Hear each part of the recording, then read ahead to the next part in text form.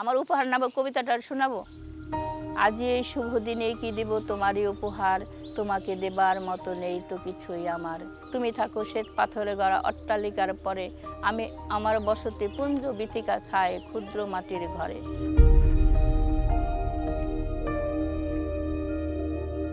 আমি কোহিনুর আক্তার জয়ী। আমি একজন লেখিকা। কবিতা লিখি বলে অনেকে আমাকে কবি বলেন। অনেকে হয় কি যে আপনি আপনি আপনি লিখছেন এটা আপনার লেখা? হ্যাঁ আমার লেখা। আপনি কেমনে লিখলেন? যে আমি মনে মনে সাজাইছি তারপর একজনের বলছি সে লিখে দিচ্ছে পরে আমি বইসা পাইছি। আমি এক লাইন করে বলব আপনি লিখে দেবেন। চার লাইনের একটা আহ, লেখেন গাছে গাছে পাখি ডাকে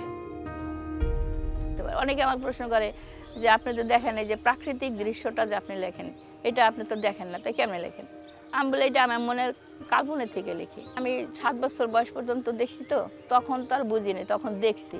আর এখন সেটাকে উপলব্ধি করি। কিছু সৃষ্টি করলাম এটার মধ্যে একটা অন্যরকম আনন্দ আছে। আমি শুধু ওই আনন্দ থেকে, নিজের ভালো লাগা থেকেই মূলত আমি এটা লিখি।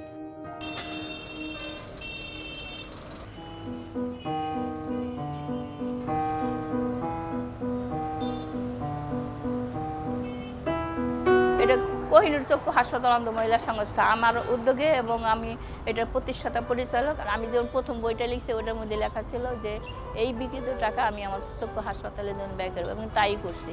ওই টাকা জমাইয়া হয়তো আমি একটা জিনিস কিনছি অফিসের জন্য, বা অনেক সময় এই ডাক্তারদের বেতনের টান পড়লে আমি তাদের ওইখান থেকে দিয়ে দিতাম। কিন্তু এই যে, এই জায়গাটা ওরা চুরি করে মানে এইটা খোলাই ফেলাই ফেলাইছে, এখন অসৌন্দর্য হয়ে গেছে। আবার আমি নতুন করে সব গুছাবো, তারপর আবার কাজ করব। হ্যাঁ এটা করতে যতদিন লাগে, যত সময় লাগে, যত শ্রম লাগে, আমি দেব।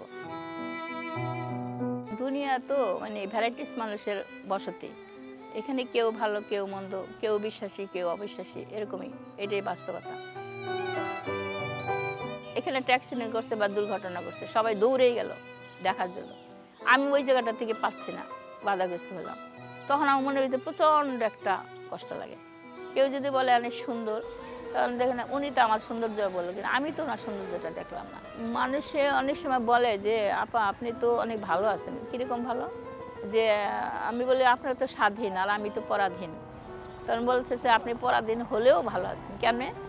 যে, আপনি এই জগতে অনেক কিছু ঘটে যা আমরা দেখি, আপনি দেখেন না। ওই যে, চোখের একটা পাপ আছে, সেই পাপটা আপনার হয় না। তো সেই যখন এই কথাগুলো বলে, তখন আমি মনে করি কি, তাহলে কি আমার চোখ না থাকাটাই ভালো?